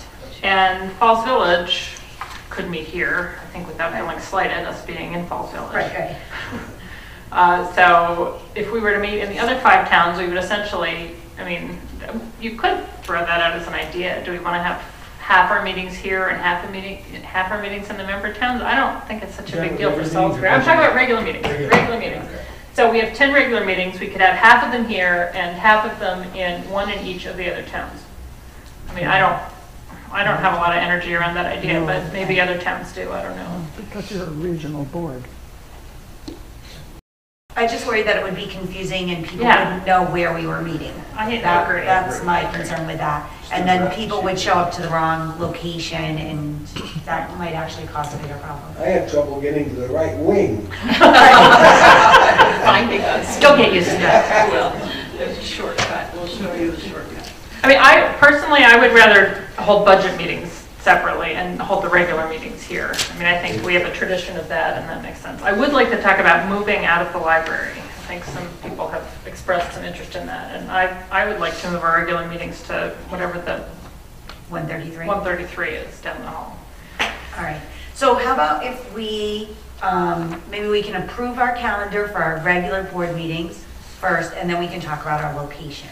Is that a? Well, except that they're, that's part of the Oh, it says the posting. library. Right. Right. All right, does anyone else have a feeling about moving the meetings to room 133? My only comment is, um, does anyone know if this would conflict with any other use of the building? Of the use of room 133? We, we would have to request use of the room. Because clearly we have meetings, but when, when there are some pretty hot topics, we've had some pretty big crowds, and this room is not adequate. But there are many meetings in which this room is adequate. So I don't know if we could actually do both or not. If it would be possible to, to meet over there when we exceed a certain number or something. Um, I don't object to being in room 133. I've had a number of requests for it from Cornwall. Right. They, they feel that um, it's, it's been somewhat of a handicap. And um, I, I don't, I don't object. But I, I will say with a small group, it doesn't make a lot of sense to be in that big room. It's not so cozy. Whatever, I'm okay. Whatever the rest of the board wants. I I just think it's, you know, there's been times that I've sat in the back of that room because it has been a big crowd, and this is a difficult room to be able to hear and see adequately, in my opinion. So I personally would be in favor of moving to room 133, even if sometimes it seems a little awkward to be in that large room. I think more often than not, it will seem comfortable, and it will be more comfortable for the observers. I agree. And then we have the same problem with special meetings, of which sometimes there are more special meetings than regular meetings. Right. So, um, but we're only just dealing with the regular meeting schedule. I guess we'll handle the special meetings at at different, way different times. So I would make a motion to approve the meeting schedule as presented, um, changing the meeting location from the library to room 133 at this time. Do you have a second? I'll second the motion. All those in favor? Discussion. Oh, Discussion, I'm sorry. I'm, I, I'm, I'm still concerned about what happens when there's an activity. Can we make an immediate change back to here if there's an activity on a night in which they mm-hmm. really need that room for a public meeting? I think we would, re- we would post We would it simply as post it up in and the come back library. here. Right. We would just I'm fine with that. take a good notice of the notices when we send them to you, Yeah, should that okay. happen. That's- But, you know, I think they could, if we get our dates in and if there's not a conflict, it shouldn't be a problem. Okay. And how do we get into the building for this meeting? We all have to figure out how to prop a door open because I think tonight all the doors were locked, except the door there. So we'll have to figure out what door you would want to use and make sure it's propped open, I don't know, or unlocked, or, It's got a lock within the system. or whatever it Unit. is. Did I miss the second of Jennifer's motion? I did. Jonathan? Any other? We'll uh, plan on trying to have that door right over here The nearest door. open. for people Is that the walking. nearest door? Yeah. The one Oh, I guess the thirty-three. one Forgot where it was. thirty-three. Yeah, all right. Well, one thirty-three is right behind you, basically. Okay. It's that octagon wall. Right. Right, any other comments? Too late. All in favor of the motion signify by saying aye. Aye. Opposed? Abstentions? Your motion carries, thank you. All right, the next is budget workshop meeting dates. Okay. I'm so excited to be talking about the budget already. So am I, oh, Jennifer. First meeting right out of the gate. Patricia, January 13th is the second Monday? Oh, let me look. The chair board. Probably. Oh, it wasn't on the calendar, so I. Let me check, let me check. They might not, That's probably why, because you have to set the meetings for. I have it 14. on, I have it on. January 13th is a Sharon board meeting. So that won't.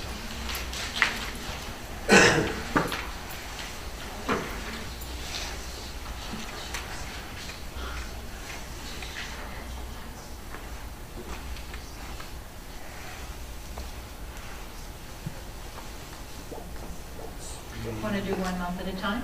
Is that the best way? So January 6th is the Region 1 board meeting. If you want a meeting the next week, was that your intention, Sam? To have a meeting the It was, following week? we just have to pick another day, right? It's open, good for one And what time have you typically had the board meetings? It's very. Like a workshop? uh, Anywhere from four, five, six, or seven. Okay. Done what kind of, with each meeting, we'll take it from The 14th might be open. What? The Is that right? 14th might be open. I didn't hear. Uh, We've had them between four and seven. Well, if, can I make a suggestion? Sure. If- If, if you want to move the budget workshops to different towns, wouldn't it make sense for us to go to our boards and have them help us pick dates and times as opposed to us setting dates and times? So we could potentially have, and then sort of be invited. The problem is, if we all have to be there, it really has to match our calendar first. I mean, if if we're gonna, I think the board needs to do some work first, though, right? Before you go. Before you go. So before we go anywhere. Town to town. Yeah. Right. You're gonna need at least a few meetings, probably, to before, yeah. Okay. Well, depending on your timeline, there's five towns you gotta get to. Although we don't So have if it to, goes, if it goes too deep into your schedule, uh, it's gonna be a problem. It gets harder to make those changes. although if we don't insist on it being, not insist, but if we don't plan for it to be a workshop, but rather, um, you know, maybe it's a workshop some places and maybe other places it's just an information session. Right, and it doesn't necessarily have to be the whole board. Right, and if it's not a Each- meeting. Each representative can do one in their town at their convenience with their board.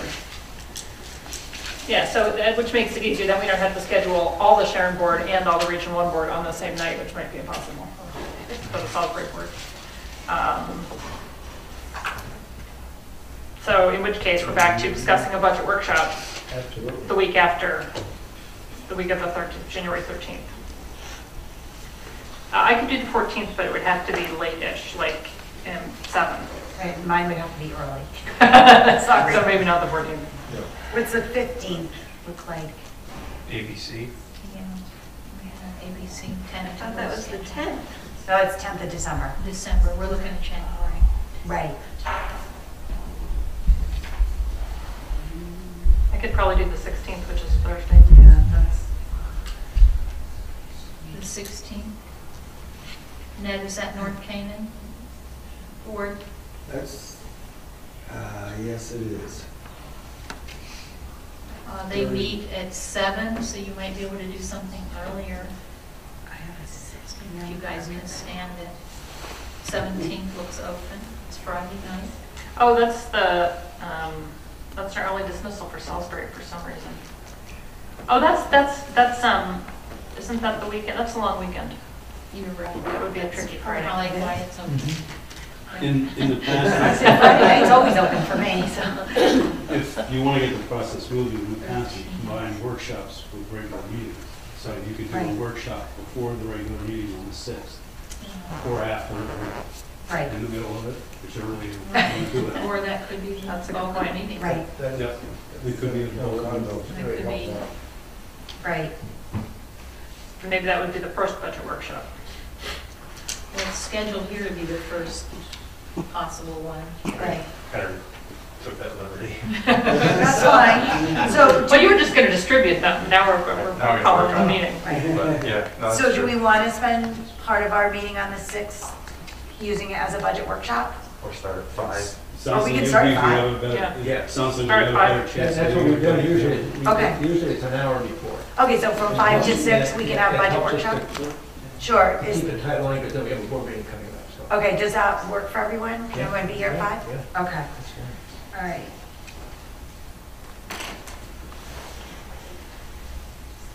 And what about the 21st? Is that date going to work for people? Just, I think it'd be good to have two budget workshops on the calendar for January. Does the 22nd work or no? They both work for me. 22nd would be better for me personally, Oh, but I Okay. could do the 21st, but if people can't do the 22nd. Is there anyone that can't do the 22nd? I could do that. I'm completely flexible. Uh, Wednesday. That would be another Wednesday. Works for me. Okay, what time would we like So to? we've gone to the 22nd. At, Did we lose, the 13th is gone that week? Yes. Okay, that week is gone. Yeah, we couldn't find any nights that week. So now we're the 22nd? Yes. Second, What which time? takes 21st off. 6 PM?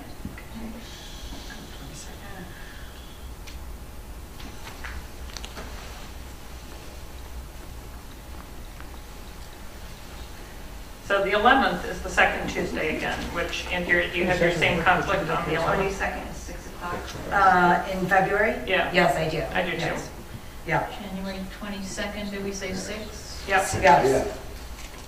Okay, we're marking off the 21st, which is on the list. All right. Are we doing anything, Sam, or do we even need to, How we do, end of January?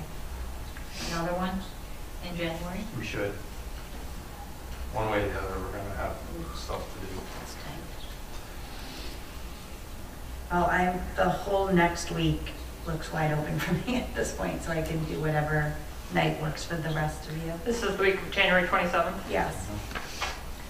Salisbury would be the 27th. Yep. Twenty I think the 29th is open, the 28th is open, I think. Twenty-eight. 28th is good for me. Tuesday night? That gives you, Sam, one, two days to turn around any changes. Okay. What, What time? Second? 6 PM, good? What's right? January 28th.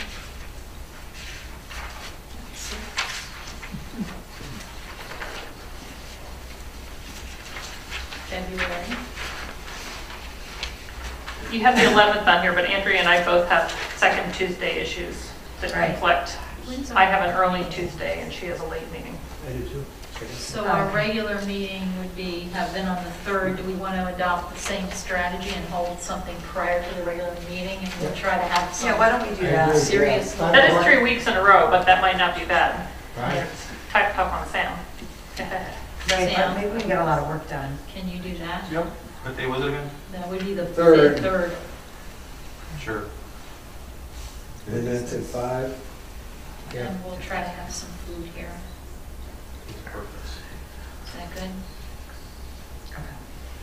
And then why don't we, from there, why don't we try to set the dates? Because if we are going out too far, we may have some, we may find that we end up with a bunch of conflicts. So first, we'll be getting almost three months out. One, two, three, maybe we better set one more date in February. What do you guys think? This was instead. That would be four meetings. Um, What about the 10th, oh, the- you guys have this- Sharon is the second mm-hmm. Monday? Oh. That's that same week that we had trouble with in January, Right. so maybe the next week. But Right. that's President's Day. Yeah, and I have to work at the hospital that night anyways. What's the 12th look like for everybody? That's um, the regional band concert, Oh, well, that's Yeah, another don't do question. that. Can't do that. Oh, that is regional band? February 12th, I have, yeah. Oh, great, okay. So the 19th, which is the next, is the Mon, is the Wednesday we're back after the two-day long weekend. We could do something later. I think Cornwall Board is meeting that day earlier, but we could do something later, mm-hmm. Like seven? probably even six, if that helps. On the 19th, is that what we're talking Yeah. about? 19th, I, yeah, that works for me. Are they speedy? They'd be done by six? Yes, they mm-hmm. will. They're, mm-hmm. All right. they're pretty, That sounds good. 219 at six? and then I think we will, after that, we're already into March, ready for your approval. Okay. All right, Sandra, you want to summarize those, or I have them down here on the table? Sure, go ahead, Jennifer. All right, so I have at the regular meeting on January 6th, a 5 PM budget workshop, and then the regular meeting at 6. Then the next one would be January 22nd at 6 PM. And the next one would be January 28th at 6 PM. Then February 3rd, a budget workshop at 5 before the regular meeting. And then February 19th at 6 PM. Great. Now, where, what is the uh, location for all these? That's the next question. Right now, now. right, everything we've said so far is here. We haven't, uh, we haven't um, specified otherwise. So what do we think our attendance to the budget workshops will be? Well, if we're, um, i- say, if we're, we're talking about um, going into different towns, I don't know. Well, I think the, the next, The different town thing has always been a problem. right. Every time we talk. I about think it. we would be, this is just my opinion, I think we might be better off if, once we start getting some budget numbers, or if we uh, can meet with our towns and see about setting up a date where maybe two of us and someone from central office can go and meet with the people in those individual towns to get some input, I think might be a better strategy. I think we might, that might be easier to manage. And um, then we can bring that information that we get at those meetings back to our budget workshops. And we Does- also. Does that seem reasonable? Well, we have also made a point of inviting Board of Finance members or selectmen to these budget meetings. Mm-hmm. Of course. As, as part of that effort to get the word out on what the budget. figures Right, are. right. Uh, We can do that. Um, These are obviously posted, people can come here if they want, to, but we know, in fact, that some people would rather have it, have some presented at the I guess what I would. local sites. If everyone's comfortable with it, I would just really encourage it, encourage everyone to set up at least one date to meet with uh, the people in their communities. And we should do that sooner rather than later. By the time Sam gets involved in going to the finance committees, the budget's kind of been set, yes. The Board of Finances. I think if we were to do it any time before the end of February, the budget would not be set, right? Right. Because we're gonna, the plan is to set it in March, ideally. Right. And if, you know, we run into weather problems or just budget problems or whatever, we then have a couple of weeks of leeway. Because we really want to go to a public hearing around that first, second, or third of April. So essentially, March, we have three-week buffer in March. But I I mean, to Marilyn's point before, it seems like in the past, our best success has been going to the Sharon Board of Finance or Board of Education meeting where Mhm. those two boards come together and then I go and work with the local rep and the Board of Finance or Patricia or Matt or whoever it's been in the past. Right. I think we combined Cornwall, we did that, I believe, at Cornwall one year, Board of We've done it in Sharon, Cornwall. Finance. Board of Finance and Board of With the Tax. Board of Ed. Yeah, and I think we could do that in Salisbury. I'd like to try to do that in Salisbury. I'll talk to Curtis That's and actually Lisa pretty Carter and see what they Yeah, think. that good. Okay, so is now we're is here everyone- again. Right, so we're talking here for the budget workshops. Is everyone comfortable reaching out to their communities and having conversations there? Then bringing that feedback back to here? Okay, that's great. So then, I guess the next question really is, are we going to meet in this room for the budget workshops, or are we going to stay in 133? How often do things get, does the high school use that room in the evening? I mean, is that, is it really a hassle for the high school if we try and hold meetings there frequently? I again, as Patricia said, it's just planning ahead. You do your building request, and Okay. sooner, the sooner you reserve it, the better off you are. Okay. I guess I would, per- I would like us to kind of name a location for our meetings and keep it there. Because I think, again, whatever we can do to reduce confusion or, you know, people kind of having to look around the building for us, I just don't think that's a really good idea. So, um, I agree. I'm, o- I agree. If there's Okay. some major public event. that Yeah, we it's want too- to- yes. We could make that acceptable. Mhm. We'd be posted that way, we come back over here. right, Not, not a big issue. okay, great. So I don't think we have to vote on that or anything. Okay, terrific. Thank you. Just a couple other questions about the budget. Um, I- I've been sort of asked um, by a few board members to look at it, look at the budget by object code instead of by program. And it's probably easier for me to do it that way, but I can do it both ways if people want to keep it by program and by object. Do we transition, or are we comfortable just kind of going, when I say by object, we- we're talking about all the salaries would be looked at and viewed upon together, and benefits, and then purchase services by purchase services, and then purchase services by building, and then supplies and equipment. We would probably still do that within each fund, so it would be by high school, by pupil services, and by central office. I'd love to see you change it. Okay, so good. That's But, good. but actually, it's been quite a while since we've done it that way, right? Well, We're going back. We had gone, we had, originally we were programmed, then we kind of went to object, and then we went back to the program, but We've done it That would mean that um, we would probably roll up, always have the ability to look at anything in detail, as much detail as you want, but we would look at purchase services, um, so for example, textbooks. Textbooks would go all into one line. We would look at textbooks by math, social studies, English. We're just going to look at textbooks kind of globally. And I, I would just say, because this came up when Sam and I had, and Ned had our meeting for Sam to introduce us to the budget. I mean, most of us have local um, school experience, and that's how we all look at our budgets. And it just, you know, it, it helps us look at things from a higher level. You know, if we need, if we're concerned about something, we can drill down into it. But it just, I, I think it helps keep us where we need to be focused um, on the finances. So. Is that going to be, um, my only concern is um, when you kind of report the budget and there are items that maybe are no longer, that we don't budget for any longer, but you need to keep them there for, you know, Historical reporting historical purposes. reporting. Is that going to create a problem? No. Okay, No. all right. That's great, thank you. And any other questions about, you know, I don't know, I guess at this point, you know, we're coming off of a budget, it's minus 1.8% or whatever. We're looking potentially at a budget, just so everybody's aware. I mean, we're going to budget the higher health insurance in, mm-hmm. the salaries, just a preliminary look at what we've already put together. The salaries and building requests don't look, there's nothing really extravagant there. But, so we're probably looking at still in a budget somewhere in the four to five initially starting off range. So just so people see that, they're not like, well, that's a not responsible budget, we need to be at two. Or, I mean, I think we should start where we bring the budget forward, obviously with the request incorporated from the department chairs in the school. And and Ian and, and um, Liam will go prioritize that together. But I just want, I didn't want to come out with something like that and the board says, well, why didn't you show us a two percent budget? I've already warned Sharon at the last board Okay. meeting, and I'll do it again, Okay. because now I have some numbers that I can take back to them. Well, I think we also need to, need to remind people that we begin with a, with a preliminary budget. Right. And you've always, you, you've always stated right out, this is, it- it's for consideration only preliminary budget.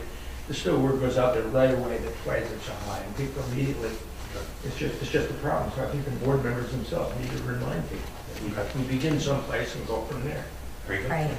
And the, I guess the other thing that I would like to request, um, when the numbers come forward and we start looking at them, it would be really good if we had the backup to support those numbers. Okay, so that we don't sit here and, um, ask for, you know, how did we arrive by this number for this particular program? And the answer is, well, I'll have to get back to you with that answer. So I would really like to see the backup come with those numbers to the meetings if we could. Because I think that that will help us make decisions about what we can keep and what we can, you know, we might be able to cut or, you know, so we can make, you know, educated decisions. Bring your. Right, well, whichever. As long as we have access to it, it doesn't matter to me how.